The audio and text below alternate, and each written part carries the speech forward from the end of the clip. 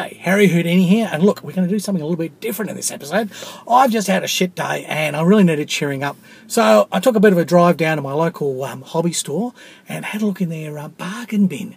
And lo and behold, for three shekels, look, I managed to score that. Do you know what this is? This is basically a tracked motorcycle. It's Ramen from War II. Yeah, it's it's it's really look. I'll put a bit closer. There's a friggin' steering wheel on the way. Can you see that? Look, it is mighty. This is something unusual different. And I was so excited while I'm waiting for my curry because I'm picking up a curry on the way home, as you do. So while I'm picking up my curry on the way home and he's in there cooking it, um, at the moment, he's killing all the vegetables and making up my Bombay aloo. Anyhow, um, I thought I'd do an in-car review. How about that? All right, so let's have a quick look at the instructions. This was a bargain.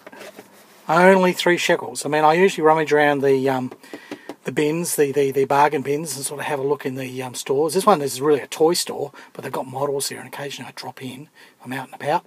Anyhow, um, yeah, right in the back, covered in dust, three shekels and um, it was still in its plastic bag, never been opened.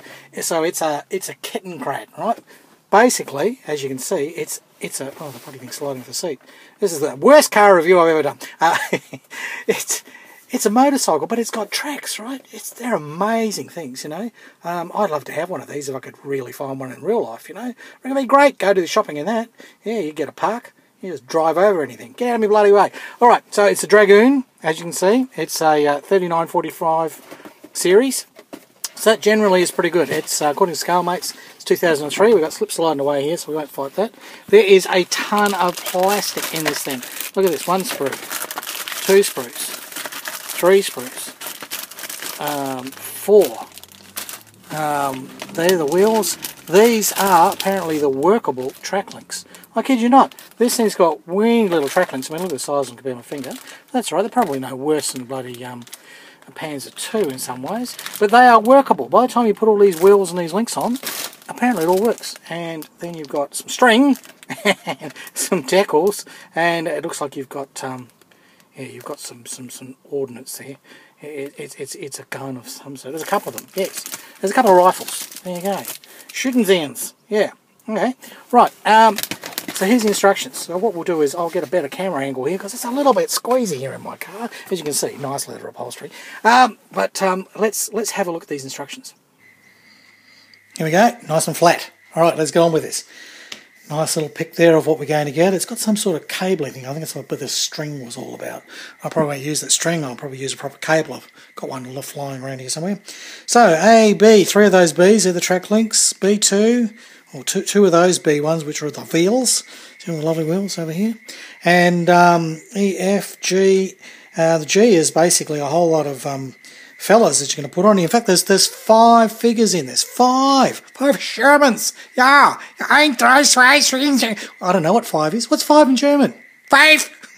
Um, and there you go. See, so not a lot of blue out. Really, it's only the um, you know, there's a little shovel here. Don't use the shovel. And um, a bit of sort of arms and legs and things. Say, well, we don't need those. Um, basically, you use the whole kit, which is which is very unusual for Dragon. That's pretty bloody good. So um, this was probably the second second run of this. There's a there's a one prior to this, and they've released a couple of upgrades afterwards. They just got different options. So um, let's let's get into it. Hey, let's let's see what it's all about. Now, um, engine bloody thing comes with an engine, which is terrific, you know, which being a motorbike, you know, usually motorbikes kits do. And um, there you go, there's that kit. We're in um, Sprue A here. It's already had a look. There's your engine. That's that's lovely. You know, the detail on that is not bad. Not bad. That's going to take a wash, and there's there's all kinds of things. I don't know how much of it will be shown, but it'll be fun to do. Um, there's the, the two body halves there, which are going to go in uh, over here on step three. Um, there's a lot going on. I mean, you have a look, there's quite a bit here. There's footsteps and transmissions and bits and pieces and do's and dods, and there's his seat, you know.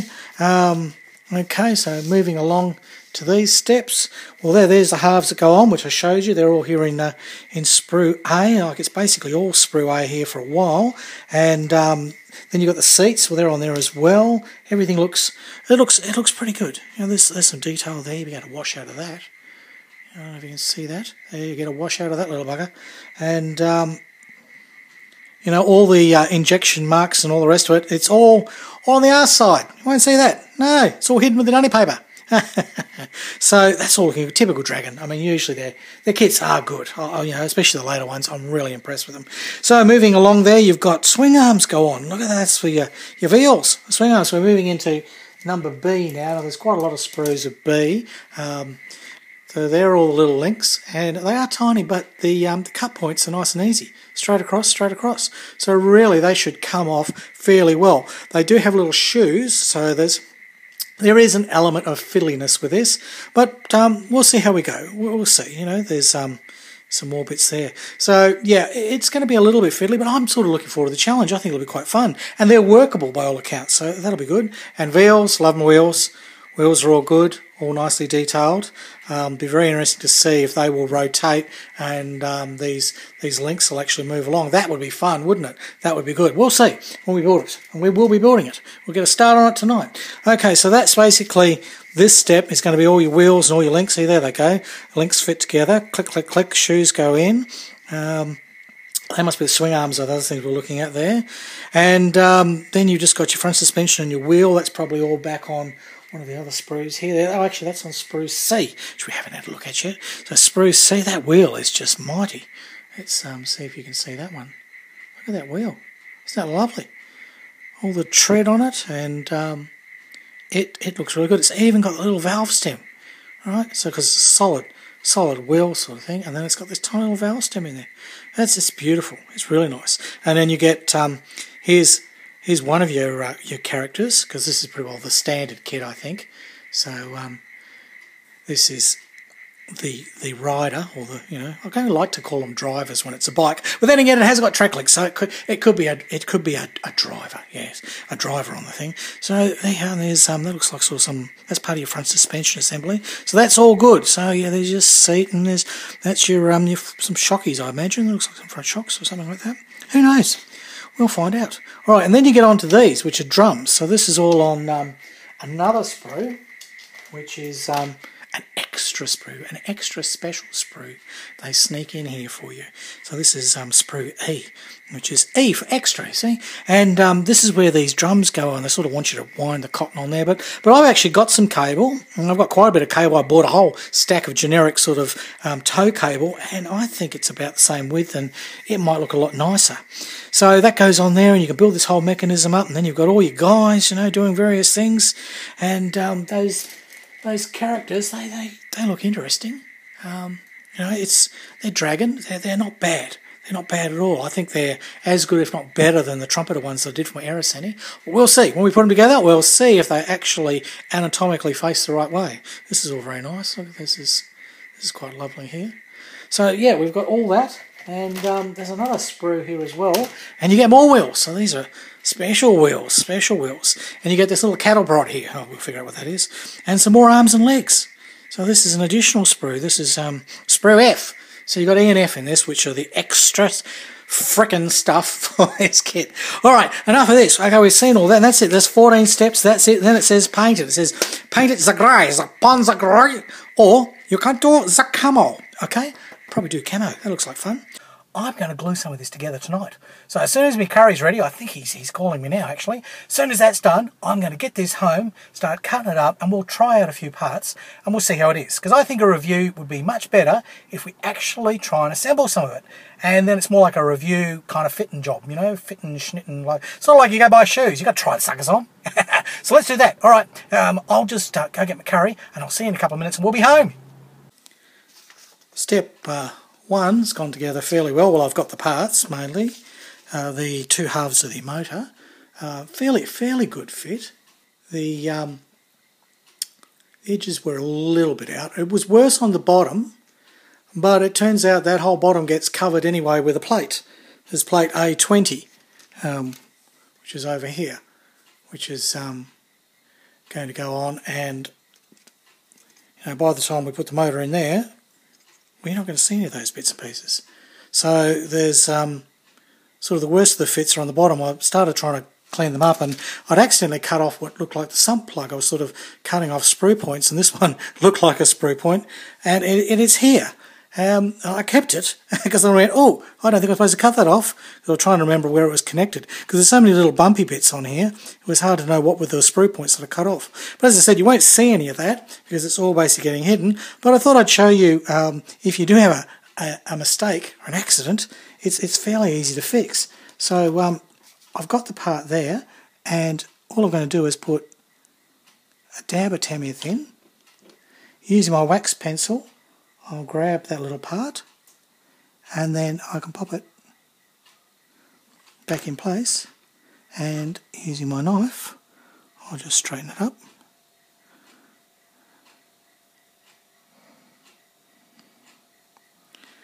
And you're saved. Nearly. Just doesn't want to sit straight. There we go. Just managed to get a hair in there but we'll cut that out later. So the hair is a little bit of glue? It's hard to tell but there you go. Um, the principle is you can, um, if you just cut off a piece, you go, oh no, and it's tiny little bit, well, save it. Your cut should be pretty well um, nice and clean because you've just done it before you sand. Um, get your cement in there, pick up the part, wax pencil perfect for this, pick up that tiny part, put it back on and let it set. And even to be absolutely sure that's, um, that's gone in, the beauty of this Tamiya Thin is you can kind of splodge it around and um, give it a blow, at least here in my climate. And I can give it a blow, and the um, capillary action means that'll go in there and it'll completely cement the whole thing back in. And you won't even be able to tell that it's been cut off. So, problem solved. All right, I've got a few little bits here to um, to put on, and we'll see how they go, and um, and then uh, we'll get on to step two.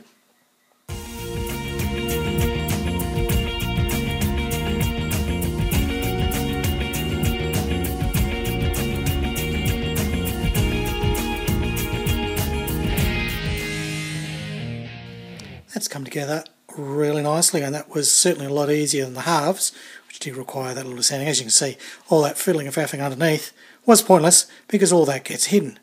And um, what I thought was a sump plug actually turns out to be a centre um, centre little um, sort of lug there. So that uh, can join to that base plate so as I checked that out so don't worry about that even if I cut it off it wouldn't matter so yeah, don't worry too much about the underside of that. Um, the top of it, yeah, you do need to sort of tidy those up.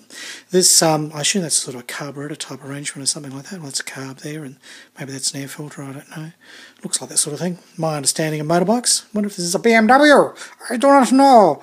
Looks like it. Looks like a little um, straight up and down VW4. That's what they look like. Um, right, well, I'll keep going. Um, there's um, some other bits to do. Now I thought I'd show you this because I'm about to cut out this part here, this part A16 I think it is, and um, I've got these snappy new um, cutters. They're called um, um, Minishima. Now um, they go under various different names, um, but what they are is they they shear cut and they're a hell of a lot sharper. They're a hell, uh, certainly a lot more accurate and precise than say the uh, sprue cutters I have been using for the last few years, which is just your run of the mill, you know, ones you buy, and they're okay, they do the job.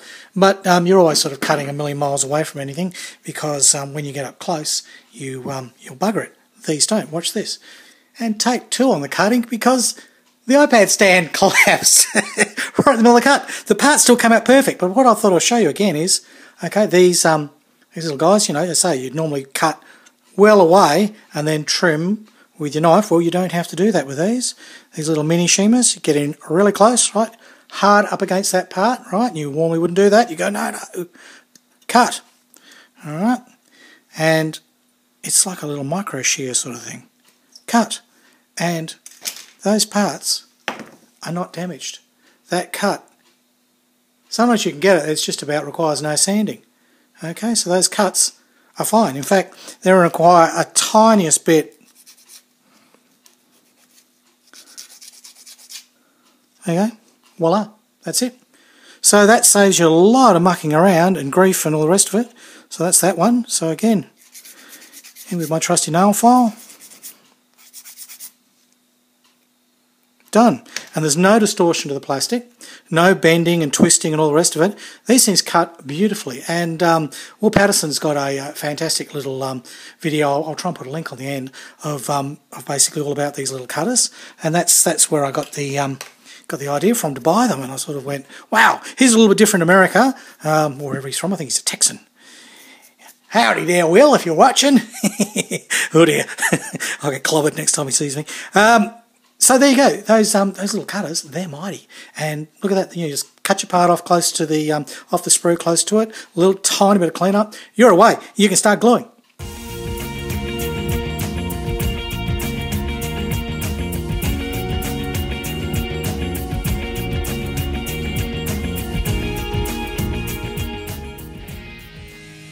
So here we are. I've got um, those little look like foot pads and the pedals are on and the seats on and could be a gear shift. Um, so it's all starting to come alive really. So that's everything in um, sections 1 and 2 completed. Now moving on to part 3, there's um, call and instructions here. I'm going to put the sides on, but there's call here to do some drilling because these um, these side parts. We're going to need some little holes here because later on there's um, some mountings here which is all for this uh, this big sort of cradley thing here for the for the cables for those big drums. So that's what I've got to do now. And if you've never done this sort of thing before uh, quite often the kit on the reverse side the side that you don't see they'll have little locating holes see? Dragon does this so you've just got to make sure you pick the right ones and follow the instructions carefully and look ahead and see where it's actually going to mount. Make sure the instructions are correct. so a little bit of checking and then you'll need a, pin vise if you haven't got one. It's just a little handhold little divot which you can put a tiny drill bit in.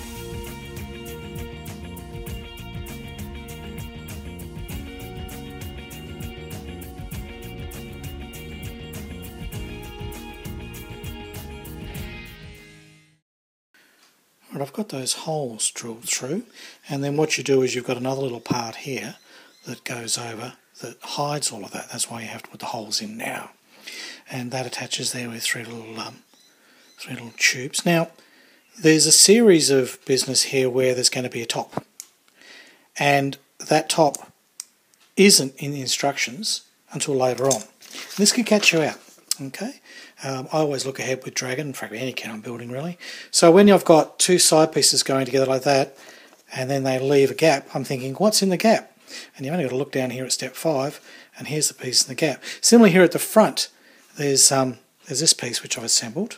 I'd had you put this part and this part together, but it was kind of wobbly, and I was thinking, well, again, I need to check how the top's going to go on because this top part is not in the instructions again to step 5 which is kind of silly because that that and that are all part of this this and this and so that all needs to mate up and join together so what I've done is I've jumped past step 4 and I've gone back of that and I've realized what I really need to do is get the spacing correct for these um, these parts so that all this whole assembly can join together. So I've got all those pieces there now. I've dry fitted everything as, as I went to make sure that um, um, you know, if I, if I glued these, these ones in, I dry fitted the top piece in to get the spacing correct.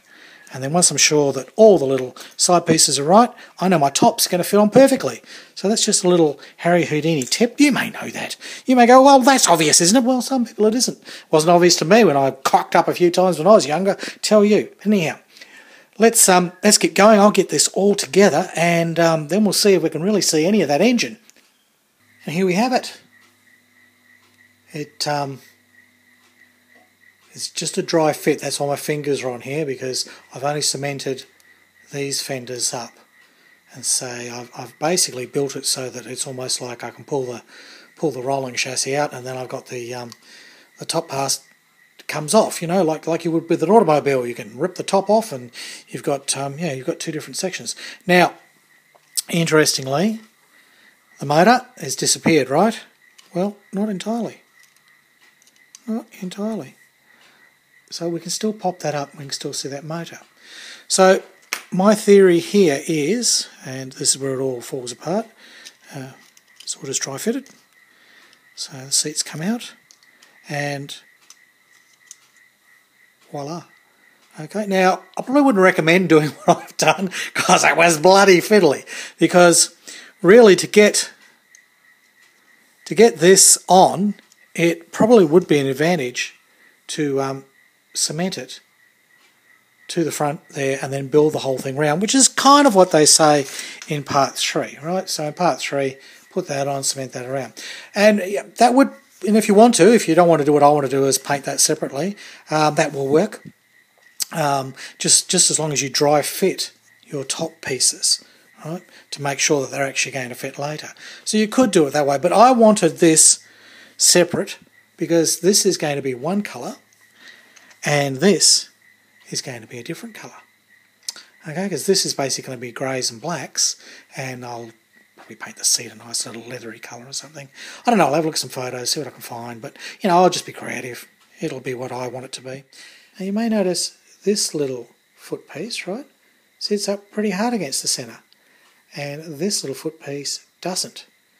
And you think, oh, you've just got it in wrong, Harry Houdini. Well, no, I haven't, because there's only one way to get it, because there's locating pin there, right? So if I did this again, I'd probably remove that locating pin and slide that over just a bit so that it all sits a bit more central. And then that'll get these, um, these two little knobbly bits here, get them out because they've got to fit into, where we can actually see it, inside here. There's one there and one there. And, um, oops, that's just a little hingy fubby thing. So that um, that's a little bit of a problem with this that you don't really find out till later. And also, this is a this is a little bit tricky here to fit. Um, I'll probably do some filler there. And also, these joins here don't mate up exactly. They're not too bad. I'll probably just put some surfacer in there and fix that up.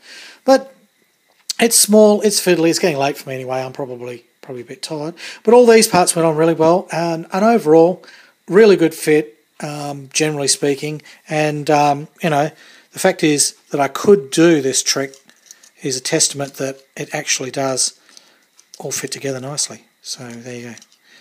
So there you are. So I will be able to see my motor. It's going to be hidden underneath this little thing here. Now I suppose the reason why they left putting those on till later is that um, if you cemented all that in, uh, you wouldn't be able to get this in because right, it's got to fit into there. But luckily because mine isn't fully cemented, keep bumping everything here. Um, I'm up to section five, and after that it's wheels. It's wheels and it's wheels and it's tracks and and then it's basically mounting on the um, the uh, oh the front. Well, that's wheels too, the front of the steering. So I'm going to leave it there. That's enough of this video. I think we've accomplished a lot, and essentially um, it's a snappy little kit. Whoop. It's it's a snappy little kit, and it's um it's a lot of fun to put together. And you could follow their instructions and build it that way if you wanted. Um, just depends what you want to paint and how you want to paint it.